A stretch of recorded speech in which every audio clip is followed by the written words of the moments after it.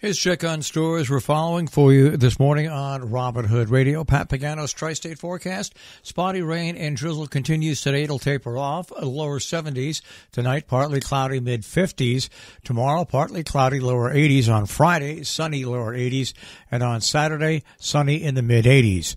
We'll get the full details on the tri-state forecast coming your way in just a few minutes. Stories that we're following for you from the Republican American. The state's workers' compensation cases in Connecticut stemming from illnesses doubled in 2020, largely as a result of COVID 19. That year, the novel coronavirus represented 83% of all infectious disease cases, according to the Occupational Disease in Connecticut report prepared by occupational and environmental health expert Tim F. Morse, professor emeritus at UConn Health for the Connecticut Workers' Compensation Commission. Those figures do not include traumatic or occupational injuries.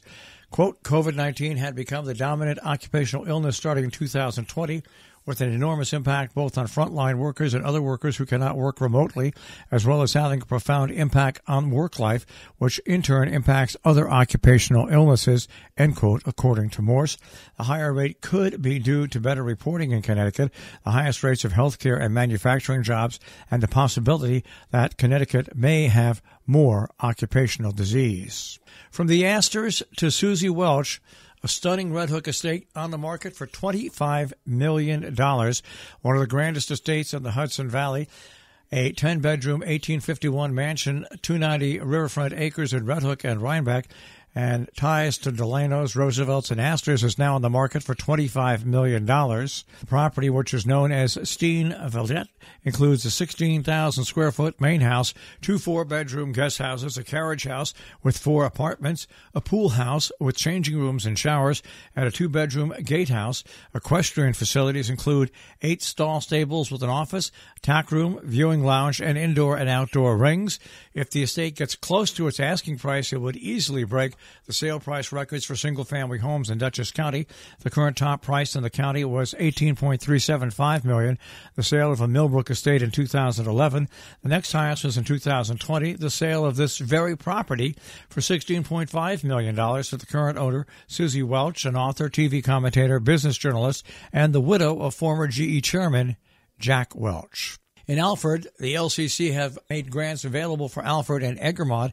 The Alford Egremont Cultural Council is accepting online grant applications for community-based products in its arts, science, and humanities. The deadline is October 17th. The council consciously attempts to divide funds evenly between programs that serve specific populations and those that benefit the entire local community. Special consideration is given to projects and programs that take place in Alford and Egremont and the neighboring towns. For those wishing to be considered for the Alford Egremont Cultural Grant. The Council is now awarding direct grants providing funding in advance of the project's launch, allowing an expanded opportunity for those with limited project development funds. To learn more about the grant opportunities and how to apply, tinyurl.com slash 2p887SAW. To begin applications, visit tinyurl.com slash 4EK R94D7. Direct questions to James Warwick at James Warwick01 at yahoo.com. The American Mural Project is hosting artwork of gala featuring a premier musical collaboration. It's hosting its sixth annual artwork gala on Saturday, September 17th from 6 till 9 p.m. in its newly opened Mill Building in Winsted, Connecticut. Guests will enjoy special music performances, cocktails, hors d'oeuvres, and more. For tickets and more information, americanmuralproject.org slash gala slash 2022. The artwork gala is sponsored in part by Scope Construction, Northwest Community Bank, Kaman Corporation, and R&M Insulation. Taking a look at some meetings going on in and around our tri-state region today. Taking a look at Sharon, the American Rescue Plan Act meeting will be held tonight at 6:30 in Cornwall at 3 to 5 p.m. Writing Stories of Your Life with Deb Devins at the library. That runs for four consecutive Wednesdays from 3 till 5 p.m. In Kent, the Board of Education at Kent Center School has their regular meeting at 5:30.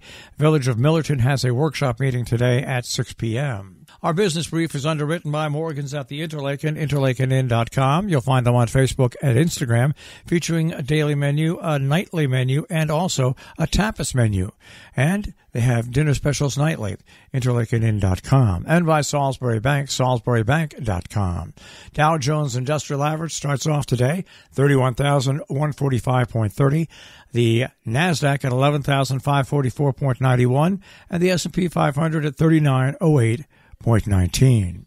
We'll take a look at the tri-state forecast. That'll come your way in just a few moments.